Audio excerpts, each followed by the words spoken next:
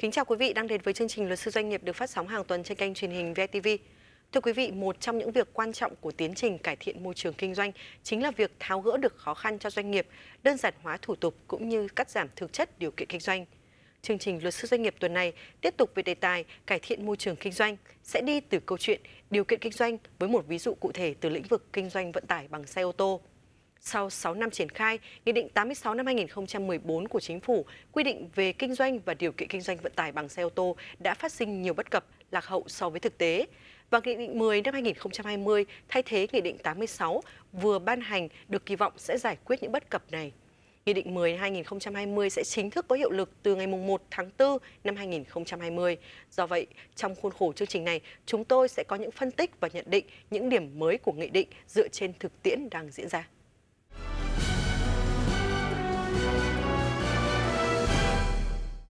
Được ban hành vào đầu tháng 1 năm 2020 sau 12 lần trình dự thảo.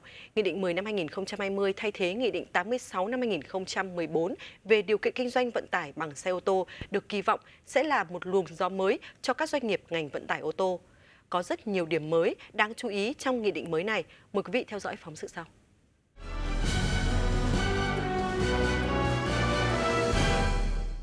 Nghị định số 86 năm 2014 của Chính phủ về kinh doanh và điều kiện kinh doanh vận tải bằng ô tô ra đời ngày 10 tháng 9 năm 2014. Tháng 3 năm 2016 bắt đầu sửa đổi, xây dựng dự thảo nghị định thay thế Nghị định 86 này. Đến tháng 1 năm 2020, sau gần 4 năm chỉnh sửa và trải qua 12 lần trình chính phủ dự thảo nghị định – thì cuối cùng Nghị định 10 năm 2020 thay thế Nghị định 86 năm 2014 đã chính thức được ra đời và sẽ có hiệu lực từ ngày 1 tháng 4 năm 2020. Do vậy, những phân tích trong chương trình này sẽ chỉ là những phân tích và nhận định dựa vào những gì sẽ có thể diễn ra khi nghị định chính thức đi vào cuộc sống. Có khá nhiều điểm mới trong nghị định này, trong đó một trong những điểm đáng chú ý nhất ở nghị định 10 đó là phân định cụ thể thế nào là kinh doanh vận tải, thế nào là đơn vị kinh doanh vận tải, thế nào là kinh doanh công nghệ.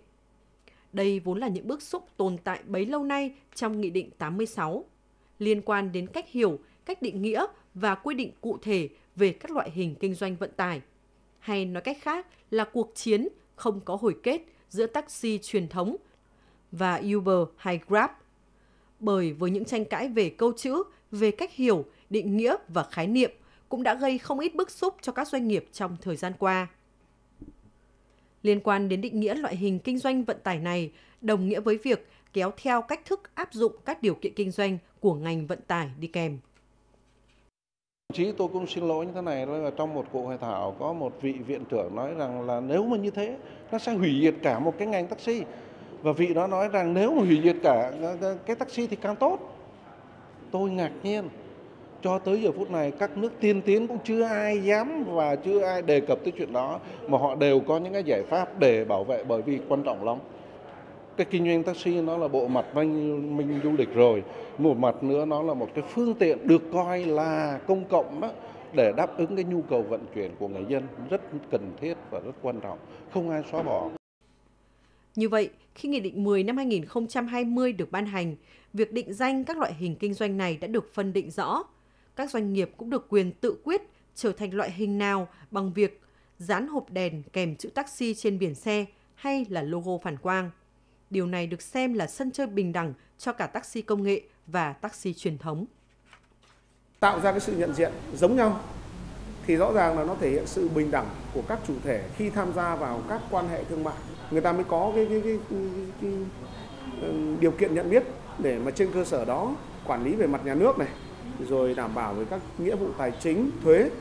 Đồng thời nó còn là đối tượng điều chỉnh ờ, của nhiều các cái quan hệ pháp luật khác nhau trong đó có các cái quy định về giao thông. Ví dụ như là các cái quy định về việc ờ, vào các cái đường cấm ở các cái giờ cao điểm vân vân. Theo các đơn vị kinh doanh vận tải, về chung một khuôn khổ pháp lý không đồng nghĩa với việc cuộc đua giữa truyền thống và công nghệ sẽ kết thúc. Thậm chí nó vẫn sẽ bùng nổ ở quy mô rộng hơn. Bởi nếu trước đây taxi công nghệ chỉ có ở 5 tỉnh, thành phố, nay đã được phép ở phạm vi cả nước. Tôi cho rằng có thể là sẽ thu hẹp thêm, chứ chưa chắc đã bùng nổ. Cái, cái, cái lực lượng vận tải taxi ở các thành phố lớn có thể sẽ thu hẹp đi chứ giai đoạn đầu chắc chắn là thu hẹp vì thủ tục chưa xong và cũng còn cân nhắc xem cái nhu cầu của thị trường đối với cái lĩnh vực kinh doanh này như thế nào cho nên chưa thể nói là nó bùng nổ ấy là luật thì ở trên giấy tờ. Thế còn cái việc thực hiện thì nó sẽ là cái thực tế.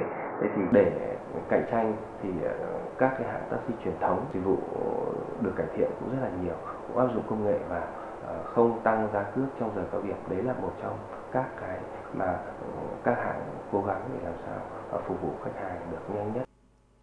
Các chuyên gia cũng cho rằng về chung một môi trường pháp lý câu trả lời về mức độ cạnh tranh do khách hàng lựa chọn với kinh doanh vận tải người tiêu dùng chọn ai căn cứ vào loại xe chất lượng xe thái độ phục vụ và như vậy không loại trừ khả năng cuộc đua công nghệ truyền thống sẽ còn gay cấn hơn. Bên cạnh đó, trong Nghị định 10 năm 2020, tuy là nghị định mới và cố gắng giải quyết được những rào cản mà Nghị định 86 đang tạo ra, nhưng không phải là không có những điều kiện kinh doanh gây tranh cãi. Ví dụ khoản 6 điều 9 của Nghị định 10 năm 2020 quy định, xe ô tô kinh doanh vận tải hàng hóa bằng container phải có phù hiệu xe container. Xe ô tô đầu kéo rơ móc hoặc semi rơ móc kinh doanh vận tải hàng hóa phải có phù hiệu xe đầu kéo. Xe ô tô tải kinh doanh vận tải hàng hóa thông thường và xe taxi tải phải có phù hiệu xe tải và được dán cố định phía bên phải mặt trong kính trước của xe. Phải được niêm yết đầy đủ các thông tin trên xe theo hướng dẫn của Bộ trưởng Bộ Giao thông Vận tải. Đây cũng chính là điểm mà các doanh nghiệp cho rằng quy định thừa. Là quy định về cấp phù hiệu và biển hiệu. À, tôi cũng đã uh, có nhiều cái văn bản gửi cho Bộ Giao thông Vận tải, ban soạn thảo uh, để kiến nghị bỏ cái cấp phù hiệu. Theo tôi cái cấp phù hiệu là nó không có cần thiết, không có còn phù hợp với cái thời và vào cái cái thời điểm này. Cấp phù hiệu thì hiện tại là Sở Giao thông sẽ cấp phù hiệu đối với những cái doanh nghiệp mà đã có cái giấy phép kinh doanh vận tải. Đó là một cái giấy phép con.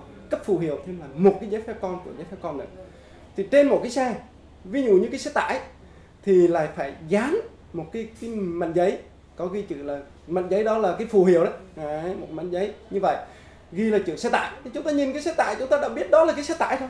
Tôi gì phải dán thêm một cái chữ phù hiệu là cái xe tải nữa.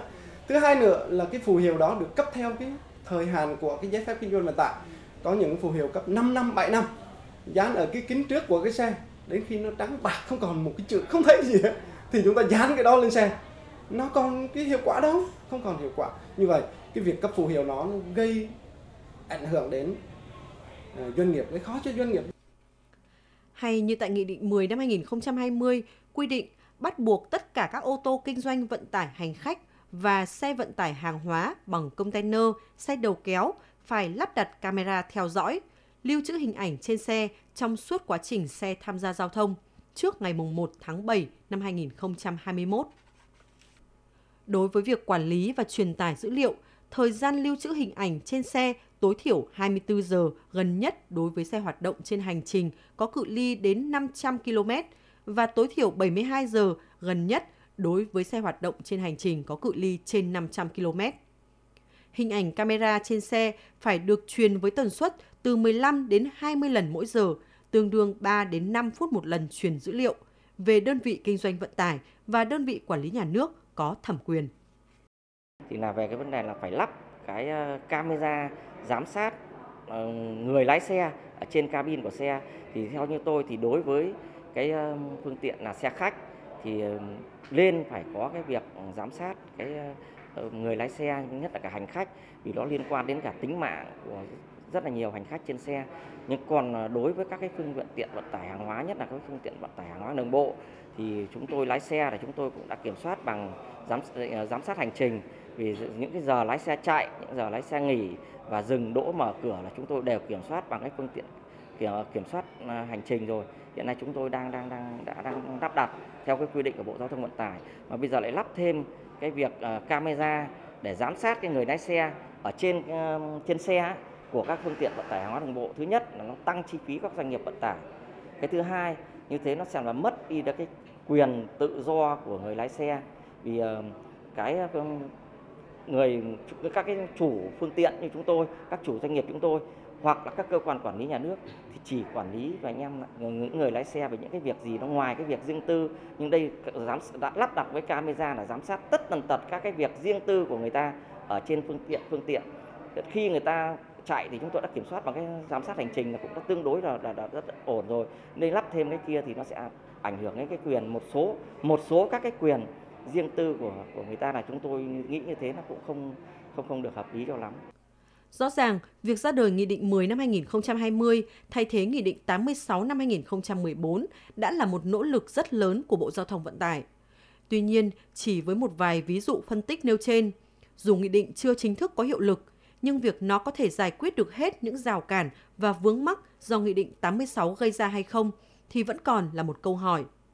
Nhưng hy vọng rằng với nhiều điểm mới, Nghị định 10 sẽ góp phần tạo một môi trường kinh doanh minh bạch và lành mạnh cho các doanh nghiệp kinh doanh vận tải bằng xe ô tô. Việc cải thiện môi trường kinh doanh là rất quan trọng và quan trọng với mọi quốc gia trên thế giới. Và ngay cả đối với Việt Nam, dù đã có một thập kỷ trở lại đây, môi trường kinh doanh có những cải thiện, là một thị trường khá thân thiện, đặc biệt là năm ngoái khi có những tăng trưởng ấn tượng và trở thành một nền kinh tế đang nổi, thì càng có lý do để Việt Nam hoàn thiện mình, cải thiện môi trường kinh doanh. Đó là nhận định của ông Kai Kenhofer, Giám đốc quốc gia Tổ chức Tài chính Quốc tế IFC khu vực Việt Nam, Lào, Campuchia trong cuộc trao đổi với phóng viên kênh truyền hình VTV về chủ đề cải thiện môi trường kinh doanh. Kính mời quý vị cùng theo dõi.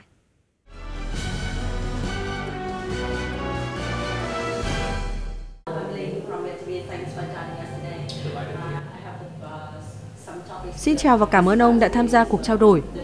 Với chủ đề cải thiện môi trường kinh doanh Việt Nam, có rất nhiều điều cần phải nói.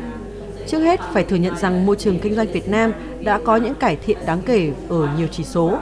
Tuy nhiên, vẫn còn khá nhiều điều kiện kinh doanh bị coi là những rào cản, gây khó cho doanh nghiệp trong quá trình hoạt động. Ông đánh giá như thế nào về vấn đề này? Và với kinh nghiệm của ông thì những điều kiện kinh doanh nào đang gây ra những rào cản cho doanh nghiệp? Nói đến môi trường kinh doanh thì có ba khía cạnh cần đề cập đến, nhưng cần phải khẳng định rằng việc cải thiện môi trường kinh doanh là rất quan trọng và quan trọng với mọi quốc gia trên thế giới. Và ngay cả đối với Việt Nam, dù đã có một thập kỷ trở lại đây, môi trường kinh doanh có những cải thiện, là một thị trường khá thân thiện, đặc biệt là năm ngoái khi đã có những tăng trưởng ấn tượng và trở thành một nền kinh tế đang nổi. Các nước khác sẽ nhìn vào đó để thay đổi và đuổi theo. Và do vậy thì càng có lý do để Việt Nam hoàn thiện mình, cải thiện môi trường kinh doanh. Để nói về ba khía cạnh cần có trong cải thiện môi trường kinh doanh, thì tôi khẳng định trong nhiều yếu tố thì đó là ba yếu tố căn bản và có tính nền tảng. Thứ nhất là phải là một môi trường được tạo thuận lợi đó là một môi trường có đầy đủ cơ sở vật chất và sự đầu tư để các doanh nghiệp có thể cạnh tranh lành mạnh. Tiếp đến là một thị trường tài chính thuận lợi, bởi đó là sức mạnh, một nguồn sức mạnh đáng tin cậy cho các doanh nghiệp hoạt động trong thị trường. Để rồi từ đó có tác động trực tiếp đến một loạt những yếu tố có liên quan đến đầu tư hạ tầng như giao thông, đào tạo kỹ năng. Tóm lại, yếu tố căn bản phải là đầu tư phát triển hạ tầng, Thứ hai, đó phải là một chính phủ tân tiến và đổi mới. Một chính phủ với những quyết sách và điều hành năng động, chủ động, có những chính sách hợp lý cho doanh nghiệp, cho hoạt động sản xuất kinh doanh, vân vân là rất quan trọng. Và Việt Nam đang có những dấu ấn đáng kể trong hoạt động điều hành của chính phủ. Và điểm thứ ba, đó chính là bản thân các doanh nghiệp ở mọi cấp độ đóng vai trò là những người chơi chính trong cuộc chơi này. Không có người chơi nào được quyền có những ưu đãi đặc biệt hơn. Họ phải cùng chơi bình đẳng trong một môi trường, cùng cạnh tranh bình đẳng. Và nếu được như vậy, thì ai mạnh hơn, ai tốt hơn sẽ là người chiến thắng. Vậy theo ông, đâu là những thách thức chính cho Việt Nam trong việc cải thiện môi trường kinh doanh và cắt giảm điều kiện kinh doanh? Tôi nghĩ là có hai điều cần phân tích. Thứ nhất, đó là phát triển hạ tầng. Hạ tầng luôn đóng một vai trò nền tảng cho sự phát triển. Nó chính là yếu tố tạo nên những phát triển rất giá trị cho Việt Nam. Ví dụ như bản thân tôi đã từng đi qua 56 quốc gia trên thế giới thì thấy rằng những thay đổi trong hạ tầng luôn luôn có vai trò đáng kể. Do vậy, cần phải làm thế nào để những đầu tư cho hạ tầng và những thay đổi của hạ tầng là đáng kể làm thế nào để sức mạnh và quyền lực là đáng tin cậy. Và thực ra đó không phải là công việc 1, 2 hay 3 năm mà đó phải là sự lớn lên, trưởng thành lên qua thời gian. Và tất nhiên, cùng với đó thì giáo dục và đào tạo kỹ năng cũng vô cùng cần thiết. Tuy nhiên bên cạnh đó, việc đặt mục tiêu cho kinh doanh cũng rất quan trọng, bởi cần phải hiểu làm thế nào để có thể chuyển đổi từ việc sản xuất đơn thuần sang những hình thức có thể đem lại những giá trị gia tăng nhiều hơn như nghiên cứu, thiết kế hay cung cấp dịch vụ. Và đó là những giá trị gia tăng mà bất kỳ doanh nghiệp nào cũng hướng đến. Và đó cũng chính là lý do vì sao các doanh nghiệp FDI hướng đến và đang làm khá tốt. Nó cũng đặt ra yêu cầu cho các doanh nghiệp trong nước phải làm thế nào để có thể tham gia vào chuỗi giá trị. Việt Nam cần làm gì để môi trường kinh doanh được thuận lợi hơn? Điều kiện kinh doanh không còn là rào cản cho doanh nghiệp nữa. Và ông có thể chia sẻ một vài kinh nghiệm quốc tế để giúp Việt Nam cải thiện được môi trường kinh doanh. Tôi nghĩ rằng một trong những điều mà chúng ta đang thảo luận ở đây chính là yếu tố tiên quyết. Đó là việc nhà nước đã nắm giữ quyền sở hữu với rất nhiều doanh nghiệp nhà nước chủ chốt. Và khi đó, họ sẽ có những ưu đãi nhất định đối với những đứa con của mình. Do vậy, vấn đề đặt ra là nhà nước cần có những chính sách bình đẳng cho mọi thành phần kinh tế. Phải có sự bình đẳng giữa khối doanh nghiệp nhà nước và khu vực kinh tế tư nhân. Có làm việc như vậy thì mới có động lực để khu vực kinh tế tư nhân phát triển. Và yếu tố thứ hai cần quan tâm đó là việc hãy xem khối doanh nghiệp FDI làm được gì, đóng góp được gì và những đóng góp đó có ý nghĩa như thế nào. Và đối với Việt Nam thì câu chuyện sẽ là làm thế nào để có thể thu hút nhiều hơn nguồn vốn FDI, làm thế nào để định hướng được nguồn vốn đầu tư này, làm thế nào để tạo được mối liên kết giữa doanh nghiệp FDI với các doanh nghiệp trong nước. Chính vì vậy, những chính sách năng động, thiết thực và hiệu quả đối với các doanh nghiệp nhà nước, khối doanh nghiệp FDI và tất nhiên rồi, cả khối doanh nghiệp tư nhân trong nước nữa là vô cùng cần thiết. Một lần nữa rất cảm ơn ông đã tham gia cuộc trao đổi. Đến đây chương trình luật sư doanh nghiệp xin được tạm dừng. Cảm ơn quý vị đã dành thời gian theo dõi chương trình và đừng quên chương trình luật sư doanh nghiệp được phát mới vào khung giờ 21 giờ 15 phút thứ ba hàng tuần. Quý vị có thể xem trực tuyến hoặc xem lại chương trình tại website www.vitv.vn hoặc cập nhật qua Facebook của kênh truyền hình kinh tế tài chính VTV. Còn bây giờ xin kính chào và hẹn gặp lại.